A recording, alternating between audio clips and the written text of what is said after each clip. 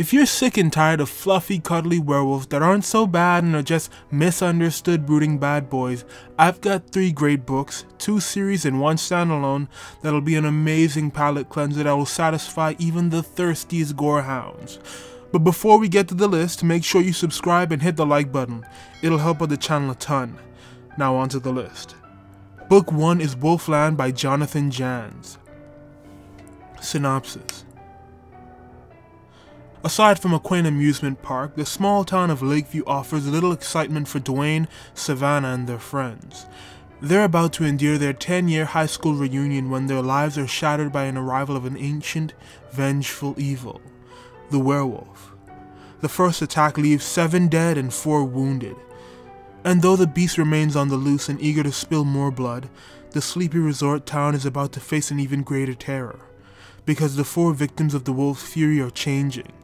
They're experiencing unholy desires and unimaginable cravings. They'll prey on the innocent and the depraved. They settle old scores and act on their basest desires. Soon they'll plunge their entire town into nightmare. Lakeview's about to become Wolfland. Lights. Eh, eh, he said it! He said it! I stumbled across this book some years ago when I was looking for some werewolf books to read. I came across a channel by the name of Horror Addicts, and they recommended this book, and the host does a really good job breaking down the book. So if you're looking for more info, I'll leave that in the description. Wolfland is a gory, tense, and brutal romp through a small town being terrorized. The only thing I don't like about the book is it's a standalone.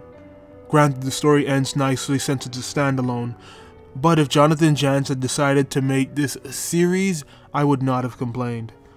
And also, if you decide not to watch the Horror Addicts review, I'll just warn you. You may think, oh, I can handle it. But Wolfland goes to some very dark and depraved places. I'm talking like characters drinking their own period blood, dark and gross.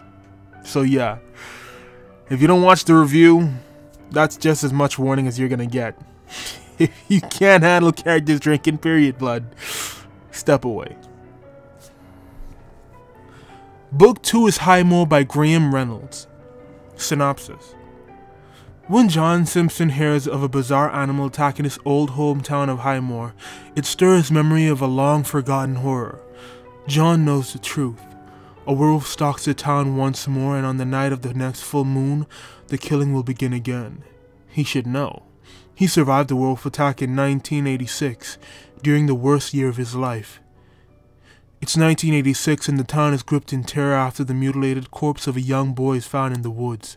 When Sergeant Stephen Wilkins begins an investigation with the help of a specialist hunter, he soon realizes that this is no ordinary animal attack. Werewolves are real, and the trail of bodies is just beginning, with young John and his friend smack in the middle of it. Twenty years later, John returns to Highmoor. The latest attack involved one of his childhood enemies, but there's more going on than meets the eye. The consequences of his past actions, the reappearance of an old flame, and a dying man who will either save or doom him are the least of his problems. The night of the full moon is approaching and time is running out. But how can he hope to stop a werewolf when every full moon he transforms into a bloodthirsty monster himself? For this one, I've got no tale about how I stumbled upon this via YouTube recommendations. I was just scrolling through my Audible feed and they saw fit to recommend this to me. And boy am I glad that they did. High Moor had me hooked from book 1 straight to the end, that is, book 3. You've got action, horror, buckets of blood and viscera. What more could a werewolf fan want? And you've got some pretty good world building too to boot. Though don't expect any Brandon Sanderson stuff, this is still a werewolf book after all. Also, listen to the audiobook. The narrator Chris Barnes makes this book mwah, just chef's kiss. Now, our final book on the list. Book 3 is Wolf Hunt by Jeff Strand. Synopsis Two thugs, one innocent woman, and one vicious freaking werewolf Meet George and Lou, thugs for hire. The kind of intimidating yet friendly guys who'll break your thumbs, but be polite about it. Their latest assignment is to drive across Florida to deliver some precious cargo to a crime lord. The cargo? A man in a cage. Though Ivan seems perfectly human, they're warned that he is, in fact, a bloodthirsty werewolf. George and Lou don't believe in the supernatural, but even if they did, it's daytime and tonight isn't the full moon. Their instructions are straightforward.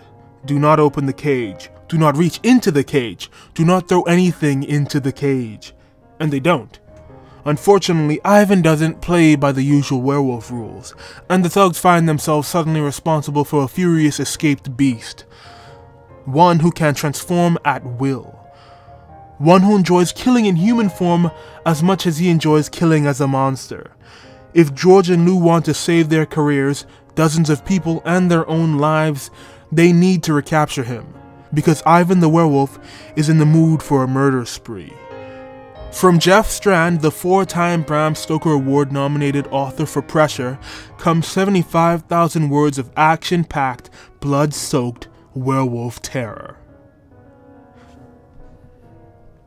If you are tired of werewolf books that take themselves just a bit too seriously, Wolf Hunt is the series for you.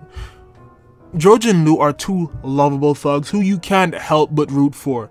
Even Ivan, the murderous psycho that he is, has a sick sort of charm that brings the book nicely together.